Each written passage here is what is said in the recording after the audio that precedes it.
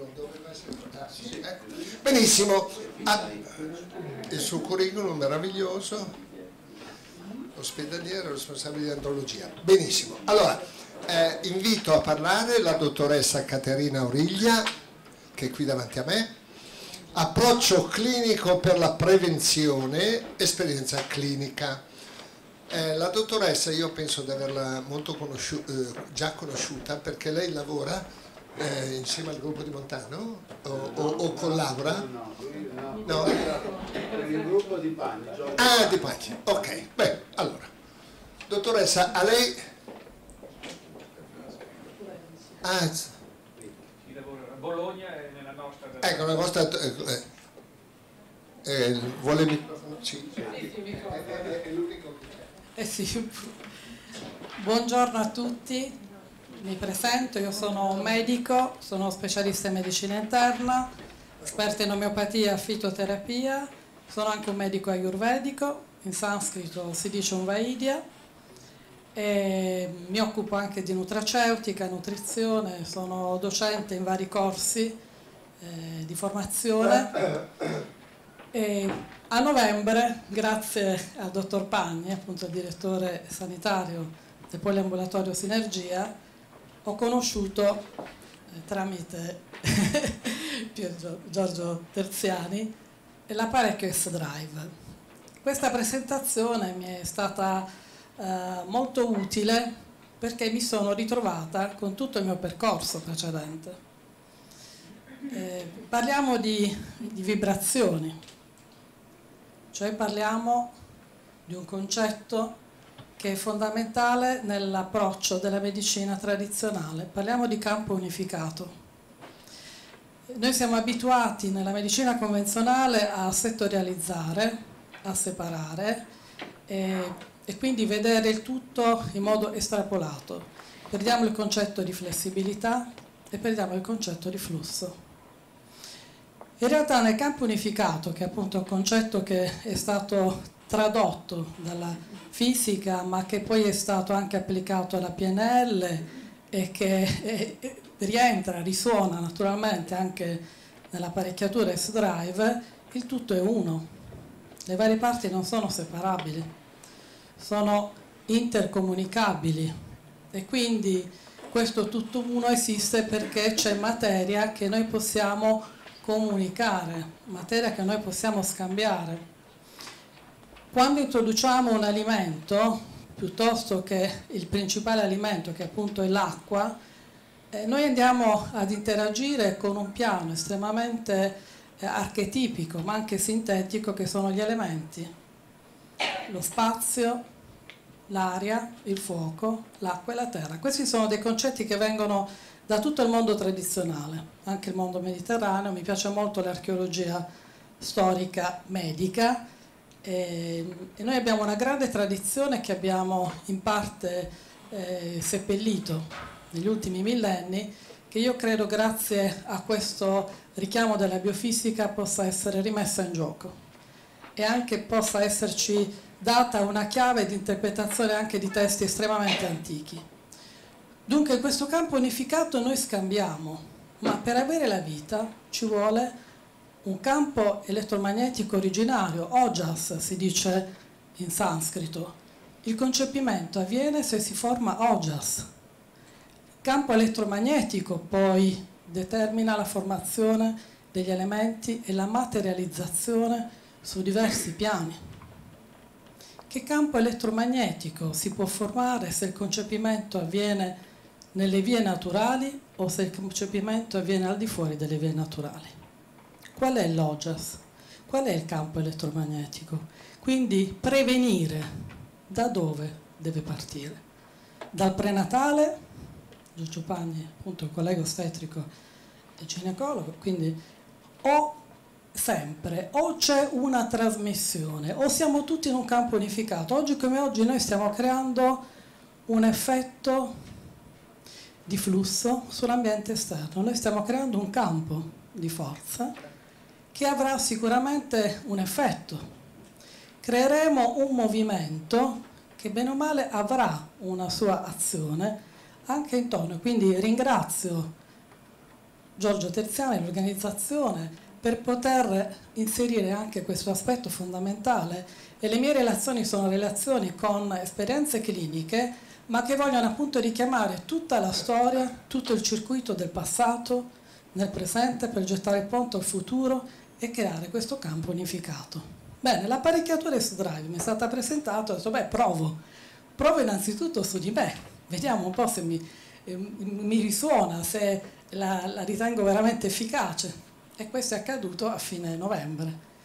Il 20 dicembre, dopo esserci di nuovo risentiti con Giorgio Terziani, ho acquistato l'apparecchio, mi è stato consegnato e quindi dalla mia sperimentazione poi sono passata a sperimentare su tantissimi altri casi e la sorpresa è stata sempre in continuo divenire. Qual è la sorpresa?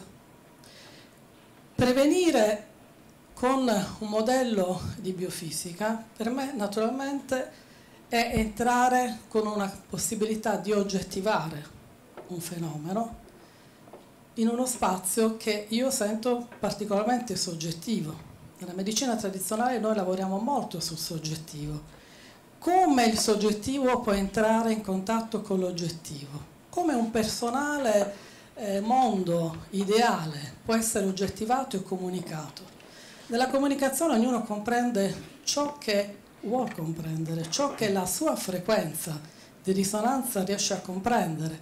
Come possiamo noi oggettivare ciò che è soggettivo? Come possiamo da una parte creare una piattaforma di intesa e anche quindi di interazione, dall'altra parte come noi possiamo entrare nel labirinto. Il problema nostro dal punto di vista medico è trovare la porta d'ingresso, molte volte ci perdiamo. La biochimica viaggia su alcune frequenze che per essere ben decifrate hanno bisogno di andare negli elementi più sottili il manifesto deriva dal non manifesto. Esistono vibrazioni manifeste, esistono vibrazioni non manifeste. La meditazione cambia il campo elettromagnetico completamente del corpo umano e la meditazione crea con un pensiero espresso nella mente, senza che venga pronunciato, una vibrazione. Quindi le vibrazioni sono un tutt'uno sono un sistema di flusso con la materia più densa, quindi spazio, aria, fuoco, acqua, terra. Noi in genere lavoriamo su terra e acqua. Terra e acqua convibrano con il resto, quindi avere a disponibilità di un apparecchio che mi permetta di oggettivare alcuni parametri e mi consenta quindi di estrapolare dei dati, di confrontarli con tutte le conoscenze precedenti anche di biochimica, per me è diventato estremamente interessante. Quindi campo unificato, vibrazioni. Ci sono molti lavori che si possono anche ritrovare su internet sulla cimatica. La cimatica è la scienza che studia i campi morfogenetici delle onde sonore. L'omeopatia lavora tramite la cimatica. I rimedi di risonanza lavorano in effetti tramite la cimatica, la cimatica fa anche vedere degli effetti molto grossolani, proprio agglomerati, formazione addensamenti, delle forme bellissime, eh, forme armoniche o non armoniche, a secondo se le nostre frequenze per esempio risuonano in 432 Hz o meno, 444. Tra le varie mie attività eh, io mi diverto anche a suonare l'arpa, l'antica arpa celtica, che è uno strumento che risuona sul cuore e eh, nell'armonizzare io uso 432 Hz, completamente diverso a risuonare sul cuore. Quindi noi siamo un sistema di flusso flessibile fino a quando non abbiamo degli agglomerati, dei nodi, degli addensamenti, tossine in senso lato, tossine che possono essere fisiche, endogene, esogene, metaboliti non smaltiti, effetti di radiazioni, interferenze elettromagnetiche, metalli tossici, ma può anche essere una tossina che si forma per un impatto genetico profondo che niente altro che l'effetto di precedenti manifestazioni epigenetiche che quindi non permette all'organismo di tutelare il proprio self. Dov'è il self? soltanto da un punto di vista strettamente immunologico. Nella medicina tradizionale il self è qualcos'altro ed è un self che può essere accresciuto addirittura può essere anche emanato.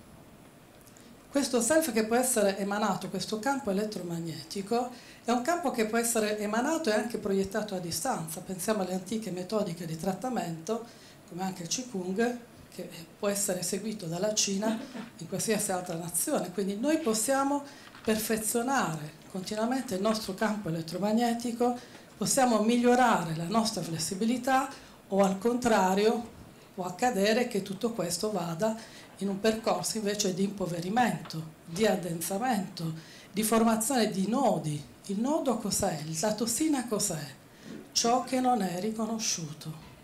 E quindi prevenzione vuol dire innanzitutto alimenti originari.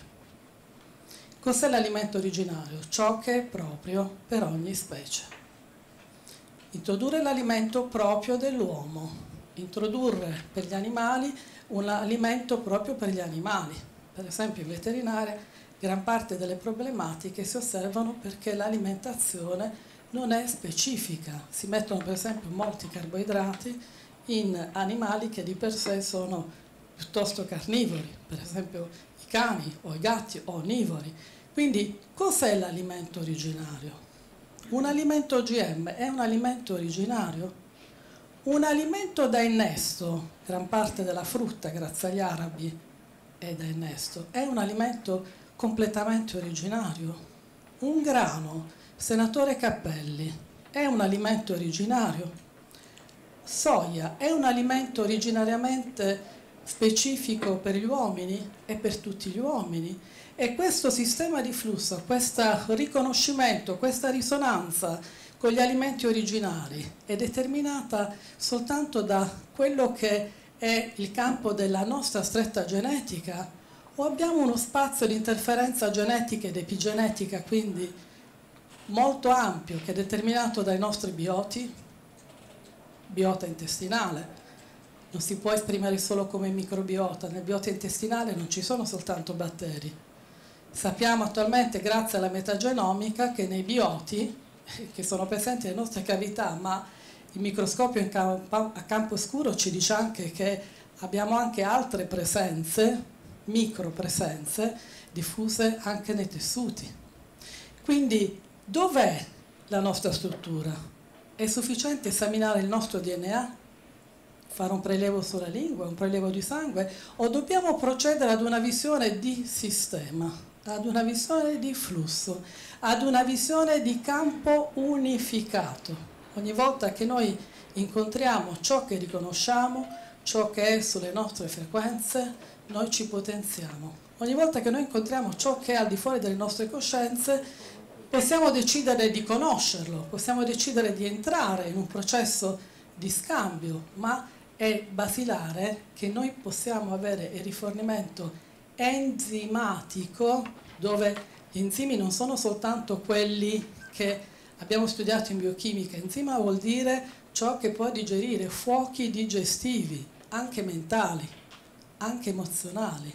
È tutto materiale, è tutto strettamente legato alla terra o molto la parte anche psicologica o anche molto la parte mentale, emozionale e quindi riconoscere eh, a livello anche dei nostri sensi. I nostri sensi sono recettori elettromagnetici. Nelle medicine antiche, tradizionali, si studia e si fa esperienza durante le lezioni di come il sapore, l'odore, il colore, il suono, lo spazio, il campo elettromagnetico di un altro essere, umano o anche di un animale, di una pianta, possono cambiare il nostro.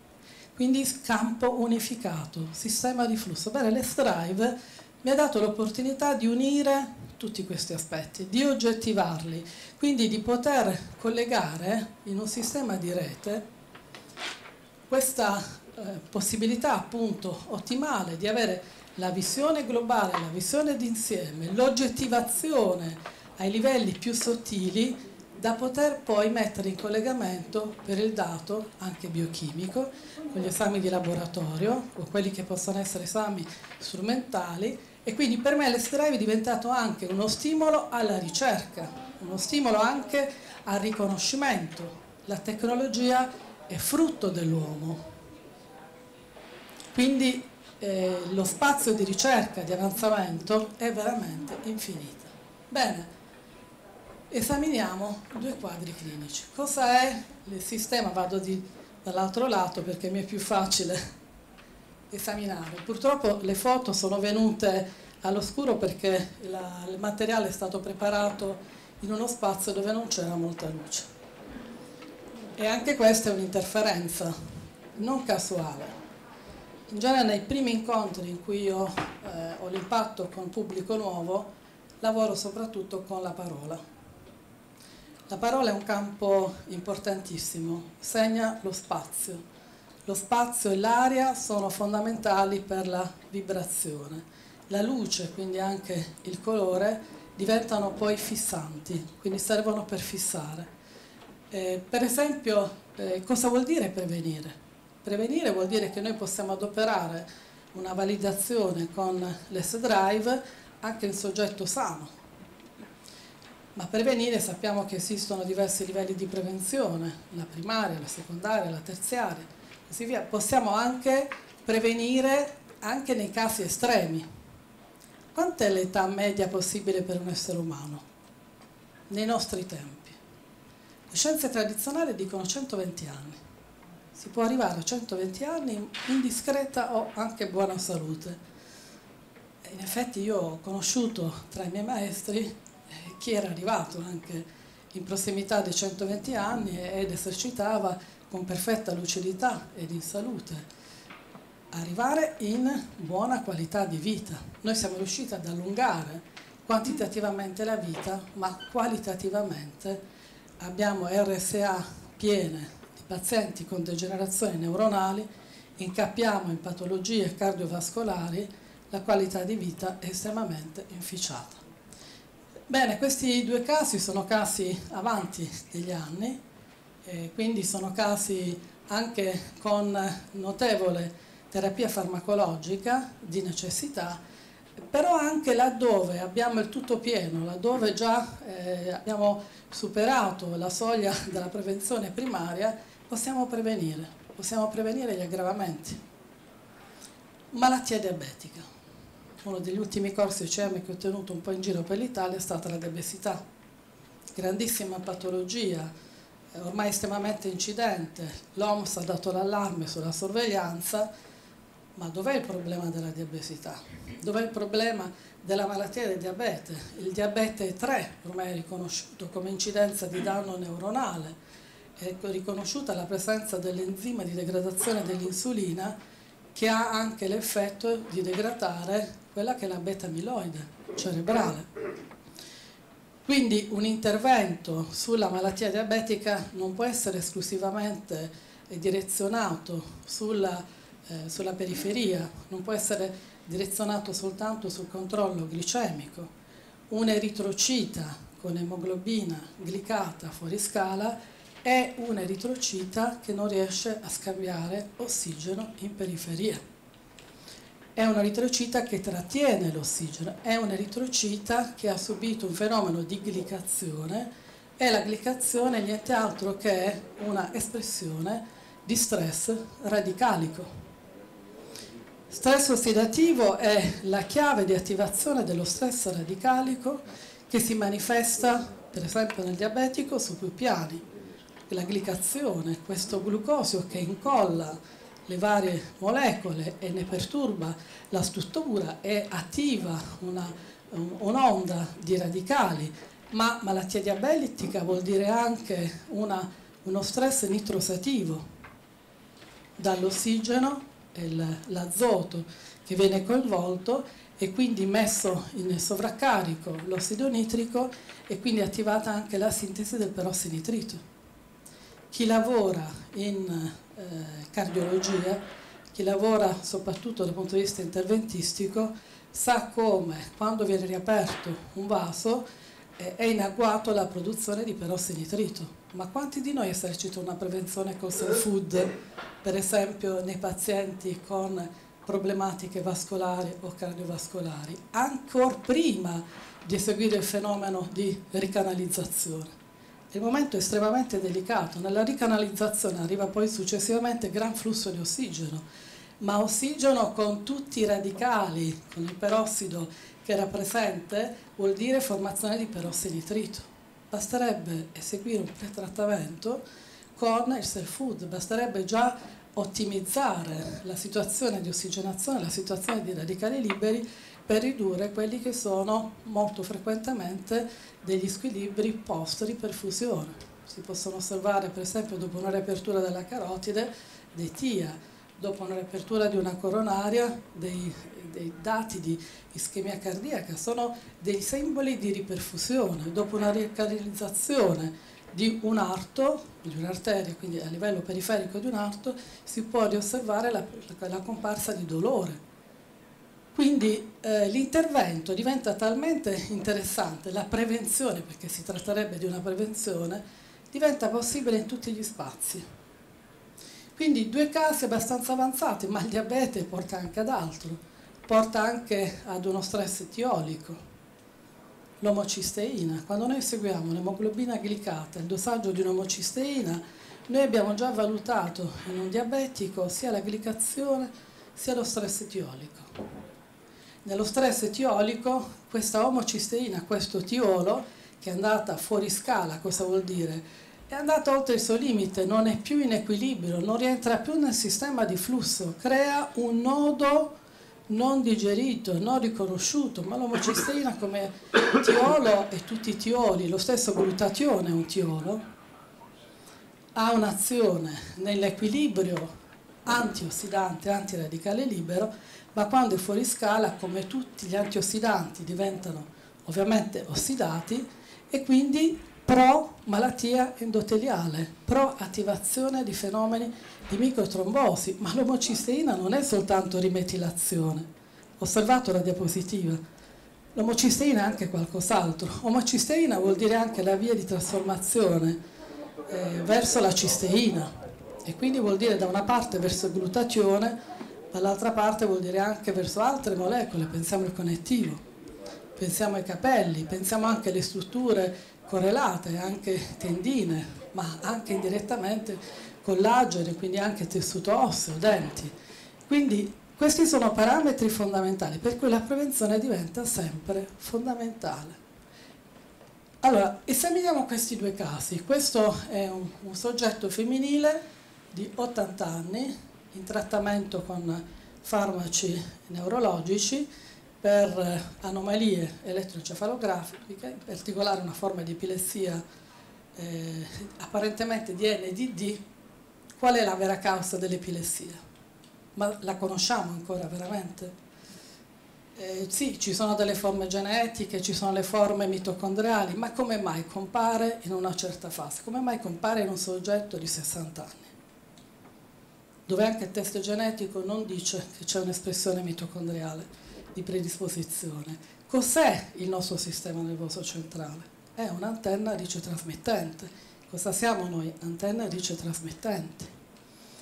E osserviamo quindi l'interferenza di vari parametri. In questo caso vedete quante P, P, P, P, P. La più importante acidi grassi, resistenza al punto 2, minerali al punto 3, poi ci stanno anche sfide ambientali al punto 4 e vitamine al punto 5. Quindi una persona che è sovraccarico su più fronti, P sta per priority, per priorità, quindi sono aspetti da tenere in particolare considerazione. Il testo non è quantitativo, quindi se io poi osservo che per esempio nelle vitamine mi va a indicare vitamina C, B3, K1, K2, di necessità non è un indicatore di somministrare le vitamine, non è un test quantitativo, è un test qualitativo, è un test biofisico, un test funzionale. Un altro caso che presenterò, per esempio, mi viene per un'anemia macrocitica, già valutata in ematologia, con folati nella norma, vitamina B12 nella norma, omocisteina nella norma, il test mi segnala carenza di acido folico. Alimento originario, nutraceutico originario. Quale nutraceutico indichiamo? Quale integratore indichiamo? Deve avere le frequenze che entrano in risonanza. Ci sono due centri fondamentali del CNR e Università, ehm, Perugia e Padova, che hanno elaborato pochi anni fa un lavoro estremamente interessante sui frattali, con confronto di frattali di pianta originaria e di una pianta che è stata eh, coltivata secondo metodologie intensive. Sono diversi. L'S-Drive, io mi sono data questa spiegazione, è una metodologia per leggere come una lettura dei frattali quello che è la nostra mappatura. Quindi l'S-Drive mi dice sì, quantitativamente il metodo biochimico mi sta dando un'indicazione di valore nella norma, ma perché questa paziente non risponde? Perché continua ad avere questa macrocitosi, eppure viene somministrato acido folico nella giusta quantità, eppure il valore ematico è nella norma, dov'è il problema? C'è un'altra via in cui c'è un iperconsumo di acido folico o il test mi sta dando un'indicazione a livello di frattale, cioè mi sta dicendo quell'acido folico che sta è chimico, ma non è riconosciuto, non entra in risonanza, quindi addirittura anche nella scelta nutraceutica, oltre che nella scelta originaria, per me è estremamente interessante. L'appartenenza originaria è, è quella che per esempio possiamo valutare se noi assumiamo curcuma o se io assumo curcumina è completamente diverso. Se io assumo la curcuma, estratto secco, da pianta originaria, proveniente dal suo territorio originario, un territorio che è stato controllato anche a livello ambientale, a livello di tossine, io sto dando tutti gli elementi, sto dando un campo unificato, quindi sto dando spazio, aria, fuoco, acqua, terra.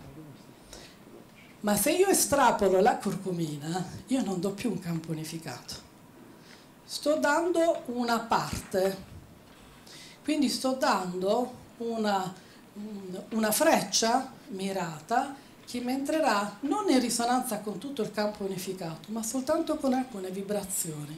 Per cui avrà la sua efficacia, ma non è quella di riequilibrare su tutti i piani, avrà un intoppo non mi rientrerà su tutti gli elementi e io ho interpretato in questo modo, ecco perché è da poco che lavoro su questi test, ma sto elaborando delle, dei programmi di, eh, appunto di confronto con altri parametri perché per me è un spunto fondamentale alla ricerca, all'ampliamento ed è una verifica di quanto appunto già mi viene dalla conoscenza della medicina tradizionale.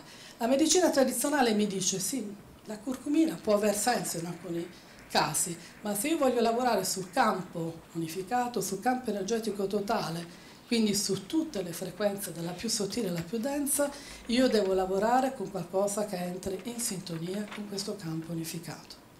E nel settore delle vitamine questo accade molte volte. Qual è l'origine? Qual è la provenienza? Da dove sono state estratte? Qual è la quantità?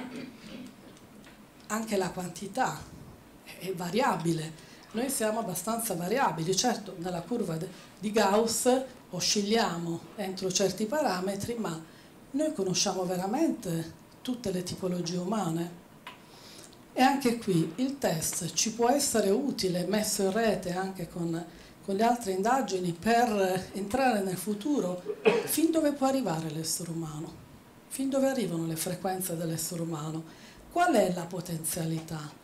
E quindi la prevenzione dove può arrivare? Si può arrivare a 120 anni? Si può anche in un paziente che è politrattato ulteriormente avere un miglioramento, avere un beneficio?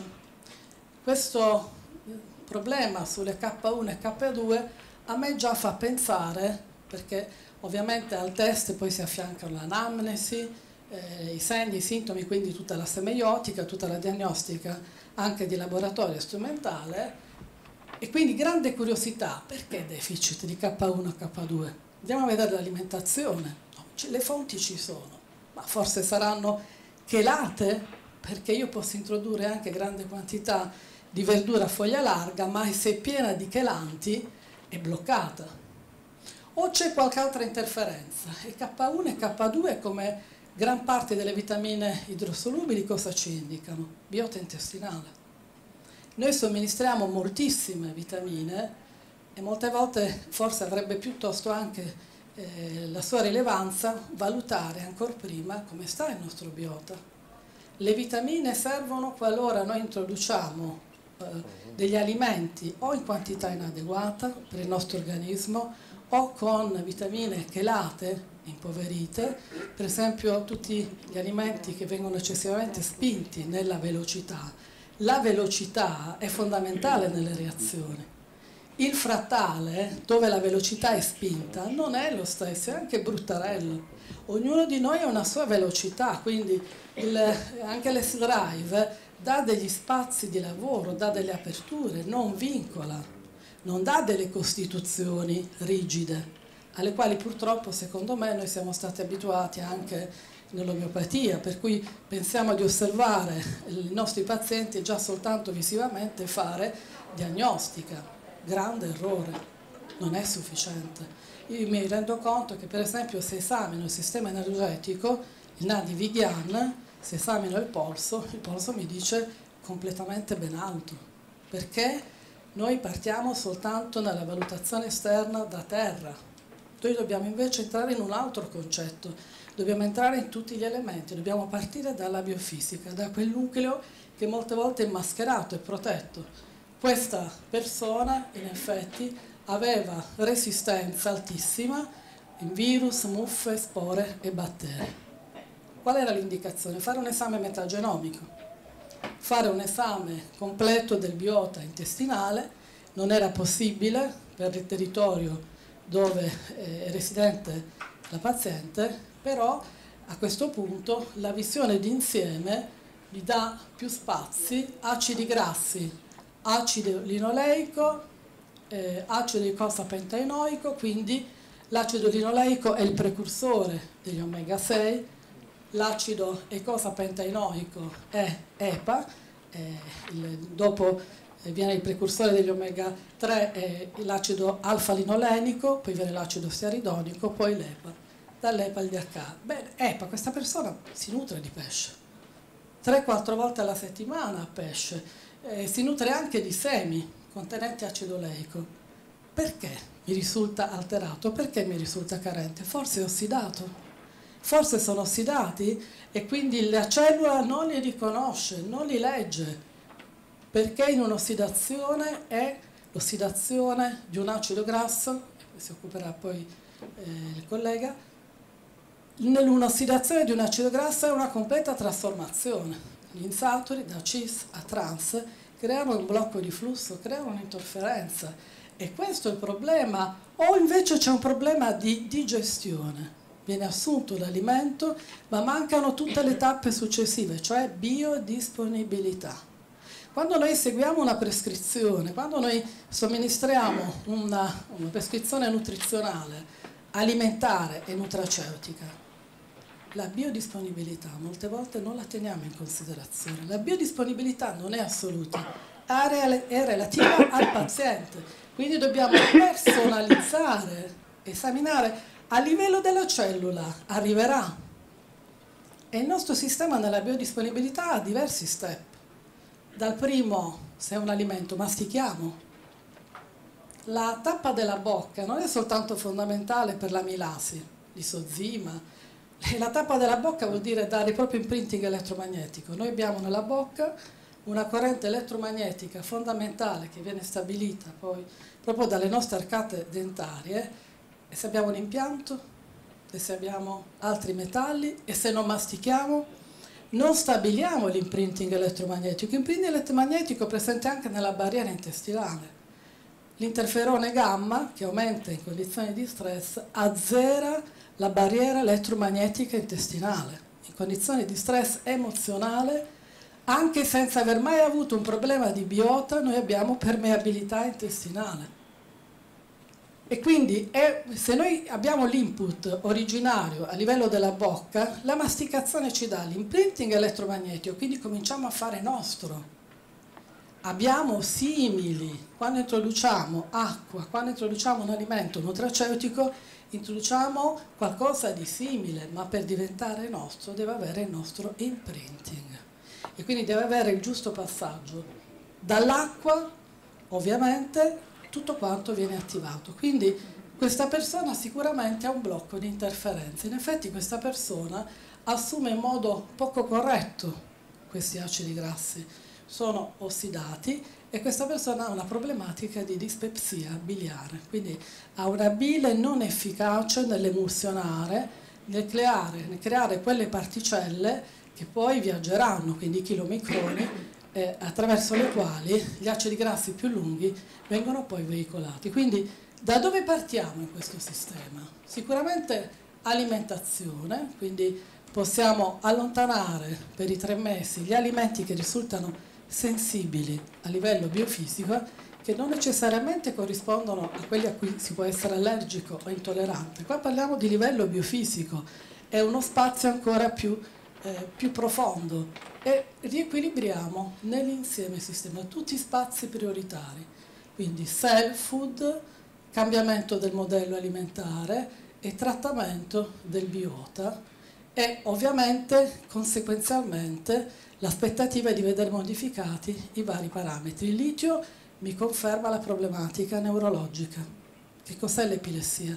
Se non un problema di voltaggio, è un campo elettromagnetico che non ha mai pausa, non riesce ad andare down, quindi sta sempre iperattivo. Eh, il sistema GABAergico e il sistema glutaminergico è qualcosa di più a livello di voltaggio e gli elettroliti, soprattutto se sono vivi, cioè elettroliti che possono essere ionizzati e quindi Self Food mi aiuta anche in questa possibilità di ionizzare il sistema, mi aiuta a far ripartire il controllo ai tre mesi mi ha dato un riequilibrio delle priorità che sono diventate C, quindi dall'essere necessario priorità è diventato consigliato. Quindi c'è stato un pattern insieme. Qual è l'obiettivo? Prevenire in un paziente di 80, una paziente di 80 anni l'ha trattato? Sì, perché la qualità di vita può essere sempre migliorata. Si dice nella tradizione non c'è limite al benessere. Il concetto di salute non è soltanto l'assenza di malattie, il concetto di salute è il benessere oltre il prevedibile, perché l'essere umano ha innata questa sua potenzialità. Quindi il tutto è poter diventare sempre più umani nella massima qualitativamente espressione possibile. Grazie, vedremo gli altri casi clinici.